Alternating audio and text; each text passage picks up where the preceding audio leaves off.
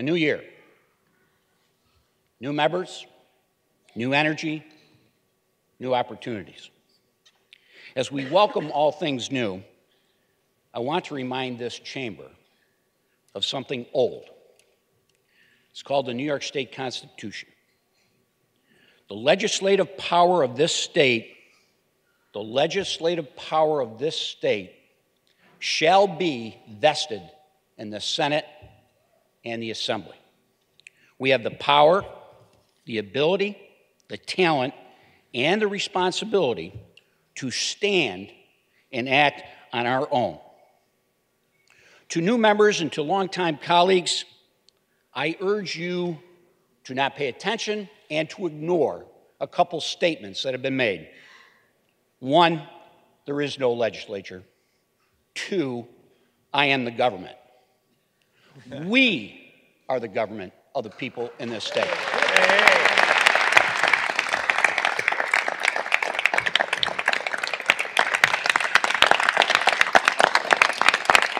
Bipartisan standing ovation.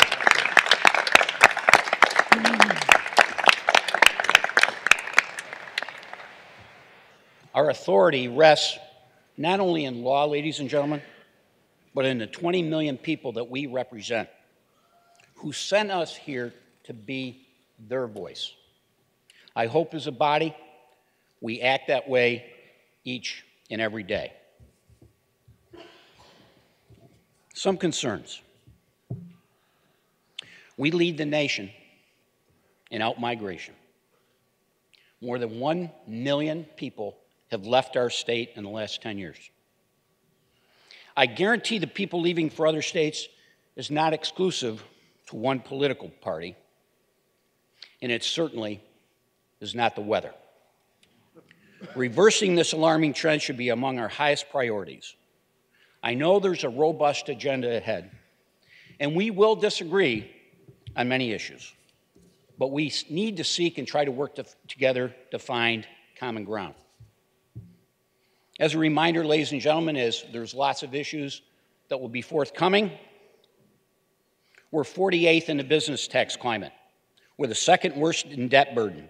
We're the 47th for property taxes. We're the 48th in business uh, friendliness, which is not good. We're 50th in Tax Freedom Day.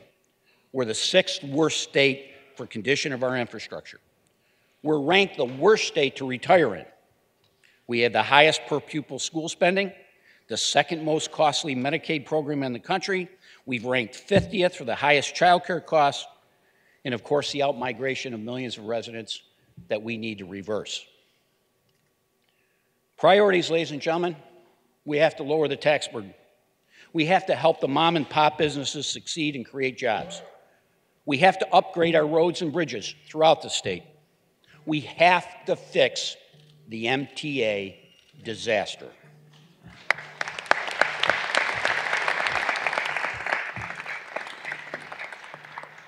We must achieve real ethics reforms. We have to make the property tax cap permanent.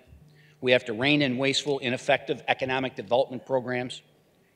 And certainly, as I mentioned in prior years, which is also mentioned here today, that we need to address the heroin and opi opioid epidemic. Ladies and gentlemen, fellow New Yorkers are dying. All walks of life. We have to have action that saves lives in this state on this topic. It is beyond normal. It's about our neighbors, it's about our families, it's about our friends.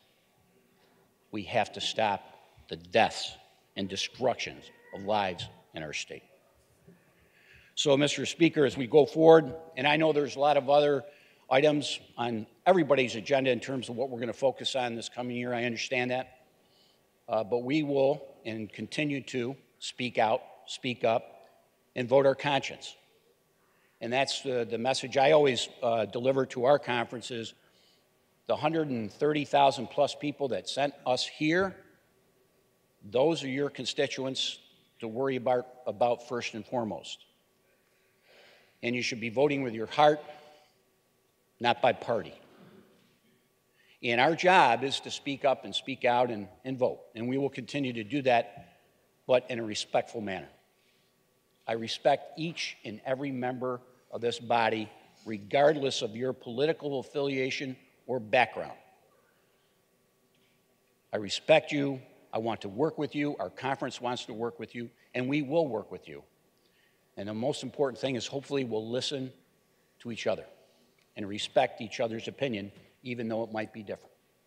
So, with that, Mr. Speaker, thank you for the opportunity to say a few words.